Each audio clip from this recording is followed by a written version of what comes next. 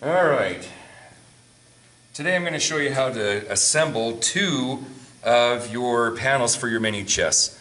Uh, it's not going to be any, or it's not going to be much different than putting other types of either doors or um, other type of raised panels that are very similar to this. The only thing that might be different is how many of the, the space balls that you're going to be putting in.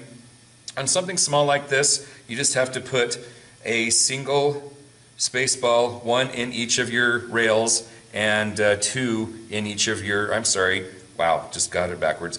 Uh, one in each of your stiles and two in each of your rails. Um, but if the, the stiles are longer, you might have to put two in. It just kind of depends on what you're doing. Okay, so what I have set up as it is right now, this is for a right-handed assembly. If you are left-handed, you're going to swap the top and bottom rails. The top rail is going to be to your right, the bottom rail is going to be to your left. I am right-handed, so I am going to keep it in this orientation just like this. Uh, notice that I've got blue paper down to catch all the glue drips. I've got my bottle of glue and my hammer. One thing that you're going to want to check before you start gluing, obviously, is to make sure that the, the hole in your bottle is open enough. If it's not, um, either you can get me to help you open that up. I've got my ways of doing it, or um, best thing to do is just get some help from me. So the first thing that we need to do is uh, obviously get it all laid out. You've got your two clamps, you've got your stiles that are face to face, your top and your bottom rails in the right hand orientation for me. I've got my panel handy here and before um, we do any of the gluing you've got to make sure that your panel is sanded just around the curve or the, the coves on the front and then make sure that these two sharp corners um, right here at the top of the opening are also broken and eased. Just use a piece of sandpaper and old sanding disc to take care of that. And uh, we're going to get going from here. So the first thing I'm going to do is I'm going to grab uh, my space balls that I have laid out. I'm going to put those in position. So there's those there on the rails. So I've got two on each of the rails and one in each of my stiles. And they're in position. Now I can start the process. So I'm going to do a bead of glue on each of the corners of this tongue that's sticking out here. And I'm already starting to make a mess. Just another day in paradise. So just make sure that you've got two beads of glue on your tongue. Put the top rail in position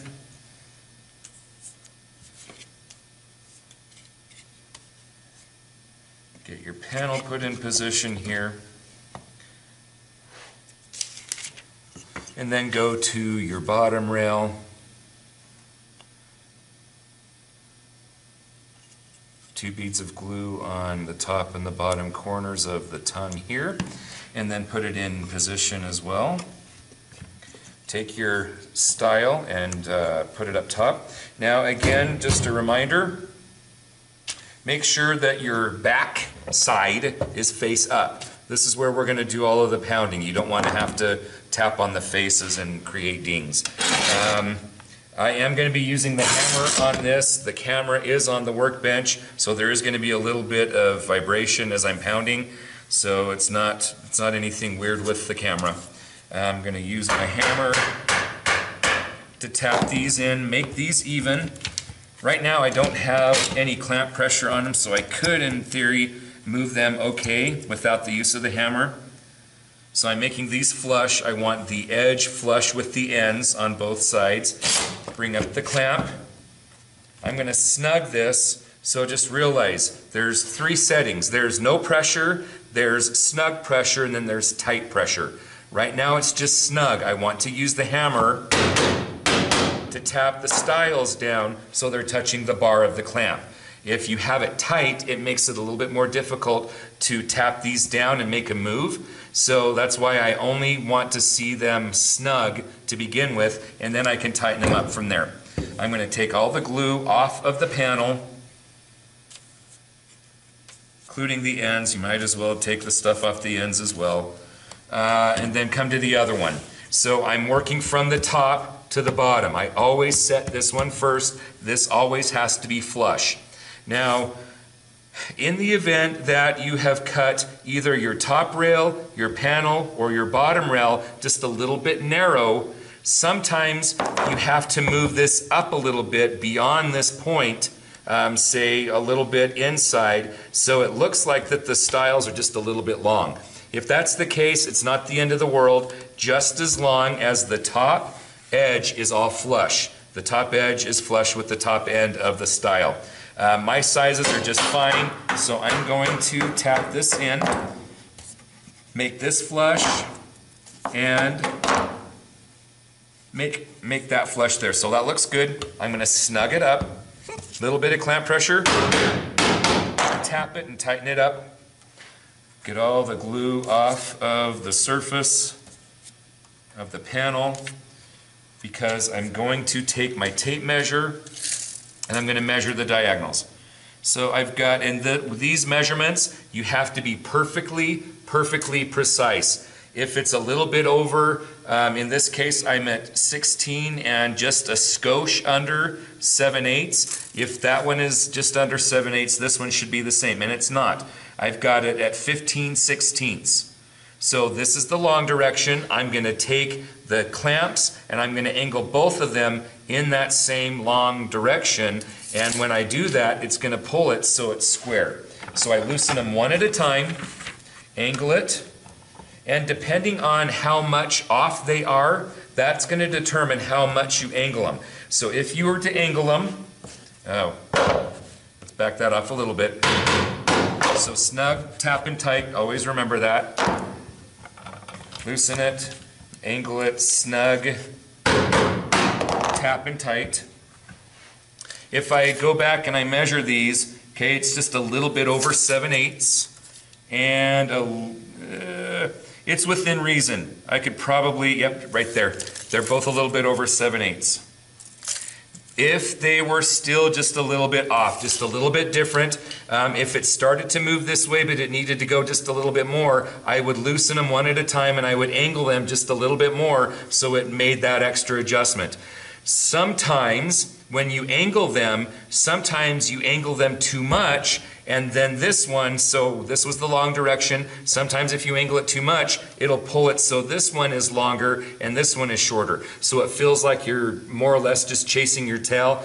If that happens, don't get frustrated. Just angle them the wrong, the opposite direction. Whatever the, the long direction is, is the direction that you need to angle the clamps in order to pull them in.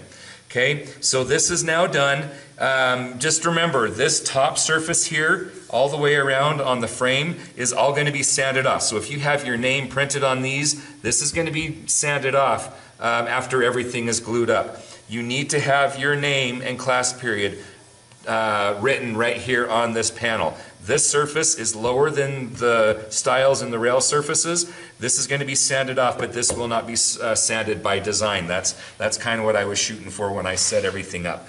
So I'm going to get this out of the way. And I'm going to set up for the other one.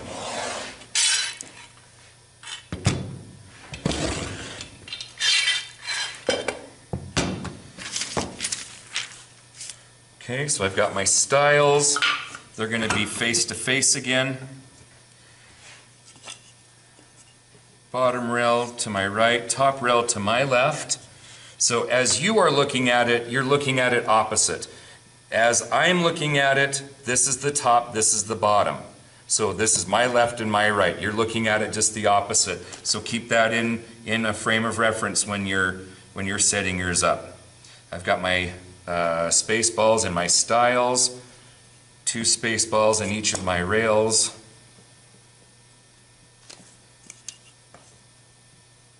Oops, lost one. Just make sure that they don't roll away. There we go. Okay, I'm going to start the gluing process again. So a bead of glue on each of the corners of the tongue. Put it in place. Get the panel in position as well, and then glue the other one. One thing that you never want to do when you're doing this is positioning your, your top and bottom rails and then trying to slide your panel in. That never ends well, so you don't ever want to do it that way. I'm going to try and wiggle these into position, getting them flush by hand. They look pretty good. Double check it. That feels good still. So I'm going to snug it again, tap it, tighten it up. Remove the glue from the panels. Go to my bottom.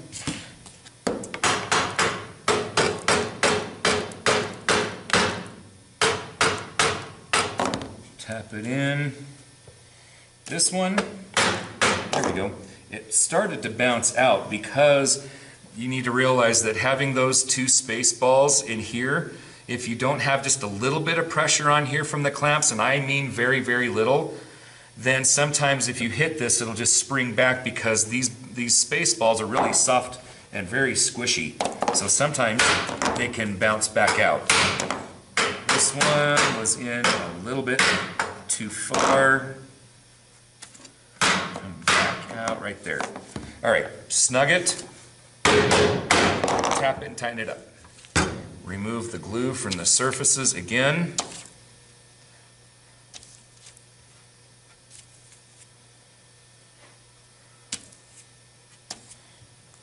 It's all tight. Now I check my diagonals. They're 7 eighths that direction and a heavy 7 eighths. So actually it's, it's just very light. This is within reason. If you're off the width of one of these uh, marks, um, that's like splitting hairs. That's just not necessary. We are going to go back and we're going to square this panel, um, all four panels. So your front, your sides, and your back. We're going to go back and we're going to square everything uh, after everything's dried and sanded through the wide belt. So at this point, um, this is now done. You can put your panels on the wall to dry and uh, you can move on to your next step. So um, that's it on this one, guys.